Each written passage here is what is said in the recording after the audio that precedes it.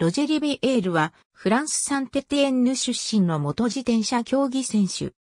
アマチュア時代、1956年のツールド、ヨーロッパで総合優勝を果たし、翌1957年、ラファエル・ジェミニアーニがプレイングマネージャーを務めるサンラファエルチームと契約してプロ転向。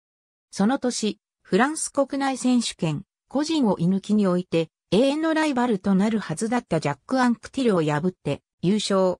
さらに同年の世界自転車選手権、個人追い抜きも制覇し、加えてミラノでアワーレコードも樹立するという華々しい活躍ぶりを見せる。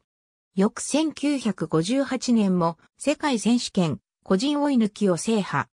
1959年にはロードレースでも活躍を見せ、ブエルタ・ア・エスパーニャやドーフィネ・リベレにおいて区間優勝を果たしたほか、ツール・ド・フランスでも総合4位に入る。そして、世界選手権の個人追い抜きでは3連覇を達成。さらに再び9月23日、ミラノでアワーレコードを樹立。またこのアワーレコードは1967年10月30日にフェルディナント・ブラックが 48.093km を樹立するまでの間保持された。この年のツールではアンクティルといさかいがあったようであるが、当時まだ23歳という若さのリビエールがアンクティルをしのぐ可能性はこの時点では十分にあった。翌1960年のツールでは、同年のジロでイタリアを制したアンクティルが不参加。一方、リビエールは前年に引き続きフランスナショナルチームの一員として参加。そして一時はマイヨ・ジョーヌ争いにも加わったが、後に悲劇に見舞われることになる。この年のツールにおいて、リビエールは第2、第6ステージをすでに制し、ピレネー語への最初のステージとなる第10ステージにおいて、この大会の総合優勝を果たすことになるガストネ、ネンチーニを下し、このステージで、マイオ・ジョーヌをダッシュしたネンチーニに対して、わずか32秒差の総合2位へとつけた。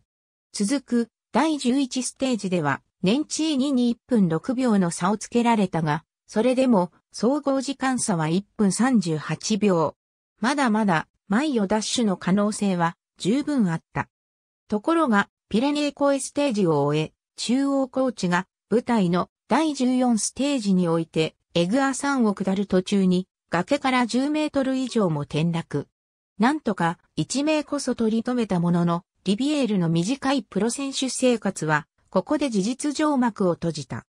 当初リビエールが転落した原因は、リムの部分に油を注ぎすぎたことにあると見られていたが、後日、リビエールが薬物を常用していた疑いが、某新聞にて報じられ、これを受けてリビエールは、1958年以降、アンフェタミンなどの薬物を常用していた事実を認めた。ひいてはこのことが遠因になったと見られている。リビエルが引退を余儀なくされた翌1961年、アンクティルが入れ替わるようにして、ジェミニアーニが監督を務めるサンラファエルチームに移籍した。そして1976年4月1日、高頭癌のため40歳の若さでこの世を去った。ジャック・アンクティル・ツール・ド・フランス5勝の奇跡の項目3章。ありがとうございます。